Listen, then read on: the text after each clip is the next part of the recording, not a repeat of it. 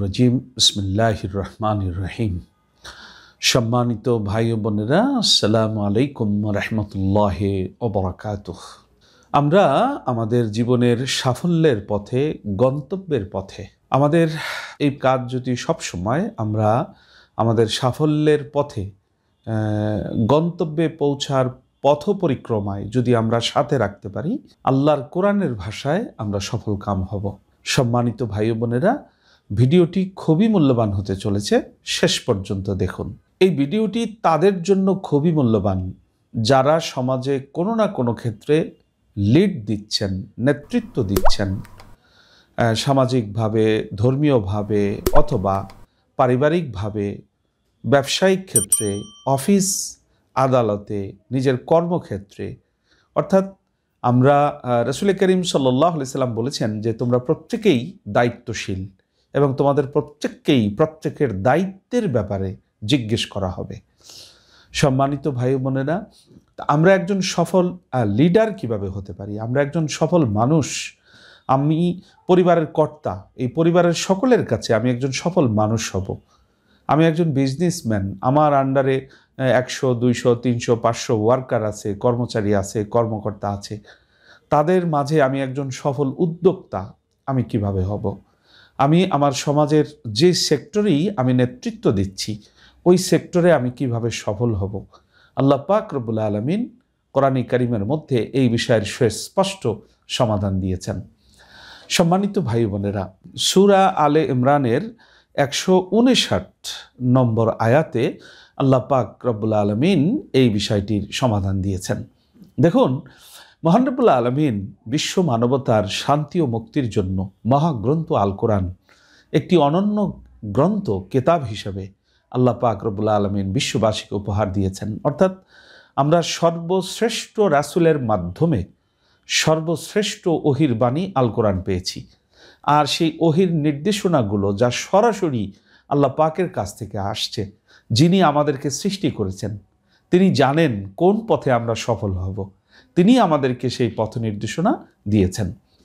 সম্মানিত ভাই বোনেরা, জীবনে সফল হতে গেলে আপনার এক নম্বর যে গুণটি আপনার থাকতেই হবে, সেই গুণটি হলো এই যে আপনি যেই পরিমণ্ডলে রয়েছেন, আপনার পরিবেশে যারা রয়েছেন, আপনার পরিবারে যারা রয়েছেন, আপনার প্রতিষ্ঠানে যারা রয়েছেন, সেই মানুষগুলোর সাথে একটি কাজ করতে হবে, আরেকটি কাজ করা যাবে না। সেই কাজটি কি? আল্লাহ পাক আলমিন বলেছেন, ফাবিমা রহমাতি মিনাল্লাহ লিনতালাহুম ওয়ালাউ কুন্তা ফাজ্জান গালিজাল কালব, লান ফাদ্দু মিন হাউলিক। সদকাল্লাহুল মৌলান আলহিম আল্লাহ পাক বলছেন যে, হে রসুল সাল্লাহ সাল্লাম, এটি আল্লাহ পাকের দয়া আপনার প্রতি যে আপনি আপনার চারপাশে যে মানুষগুলো রয়েছে, সেই মানুষগুলোর সাথে আপনি কোমল হৃদয়ের অধিকারী। আপনি তাদের সাথে উত্তম আচরণ করেন। প্রেমময় মধুমাখা সম্পর্কে আপনি তাদের সাথে জড়িত। যদি আপনি তাদের প্রতি কোমল হৃদয়ে না হইয়া রুর, কঠোর, আপনি যদি শক্ত ভাষাভাষী হতেন, তাহলে এই চারপাশের মানুষগুলো আপনার কাছ থেকে দূরে সরে যেত। সম্মানিত ভাই বোনেরা, আমরা এখান থেকে একটি গুরুত্বপূর্ণ শিক্ষা নিতে পারি। সেই শিক্ষাটা হলো এই যে, আমার পরিমণ্ডলে যারা রয়েছেন, আমরা তাদের সাথে ভালো ব্যবহার করব, উত্তম আচরণ করব। কোমল আচরণ করব, ভালো ব্যবহার করব। কখনো তাদের প্রতি আমরা কঠোর হব না। মনে রাখবেন যে আমরা যদি কোনো মানুষের উপরে আমাদের কর্তৃত্ব, আমাদের রূঢ় আচরণ প্রয়োগ করি, সে মানুষটি হয়তো সামনাসামনি আপনার আমার ভয়ে কোনো কথা বলবে না। কিন্তু লোকচক্ষুর অন্তরালে ওই মানুষটি কিন্তু আপনার প্রতি বিরূপ ধারণা পোষণ করবে। ওই মানুষটি কিন্তু আপনাকে অন্তর থেকে ভালোবাসবে না। আর যা, যার প্রতি অন্তরে আপনার ভালোবাসা নেই, তার কাছ থেকে আপনি শতভাগ সহযোগিতা, শতভাগ সাপোর্ট আপনি পাবেন না।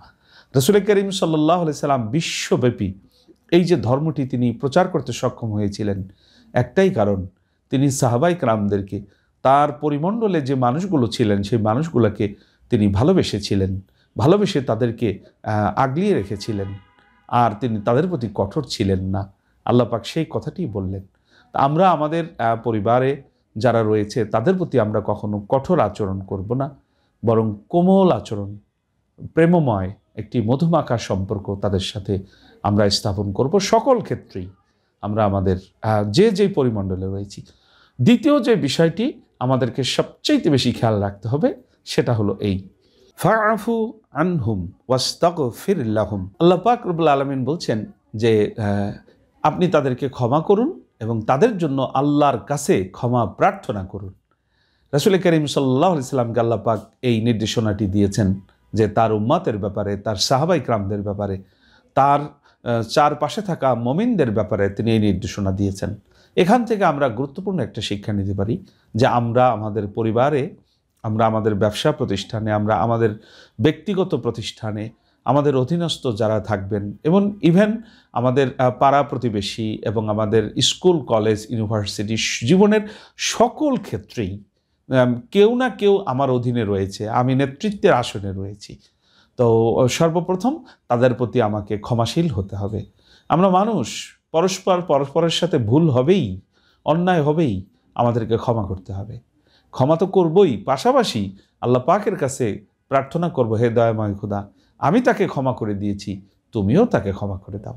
সুবাহান আল্লাহ এই গুণটি যদি আমাদের ভিতরে, দুই নম্বর এই গুণটি যদি আমাদের ভিতরে চলে আসে, সম্মানিত ভাই বোনেরা, তাহলে আমাদের অধীনস্থ মানুষগুলো কিন্তু তাদের সাথে আমাদের মধুময় সম্পর্কটি আরও উন্নীত হবে আরও অনেক বেটার অবস্থানে কিন্তু সম্পর্কটা চলে যাবে।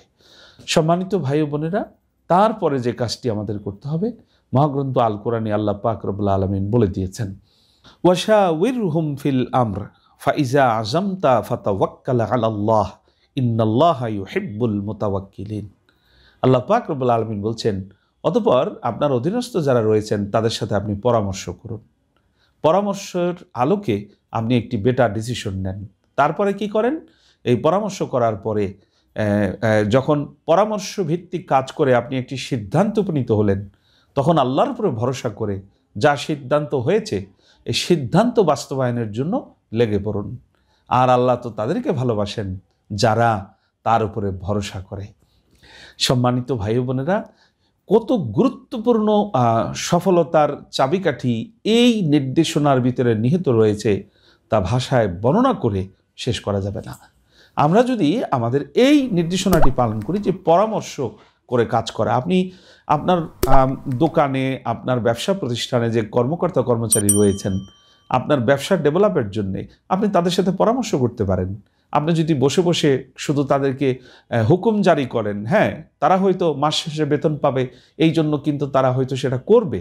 কিন্তু তাদের ভিতরেও ব্যবসার কিছু পলিসি থাকতে পারে। আপনার প্রতিষ্ঠানটাকে উন্নীত করবার জন্য, আপনার প্রতিষ্ঠানটাকে আরও ভালোভাবে চালানোর জন্য তাদের ভিতরেও কিন্তু অনেক প্রজ্ঞা, অনেক জ্ঞান, অনেক বুদ্ধিমত্তা, অনেক দিক নির্দেশনা, অনেক সময় উপযোগী করণীয় তাদের ভিতরেও, তাদের মনের ভিতরে, তাদের ব্রেনে, তাদের চিন্তায় আছে।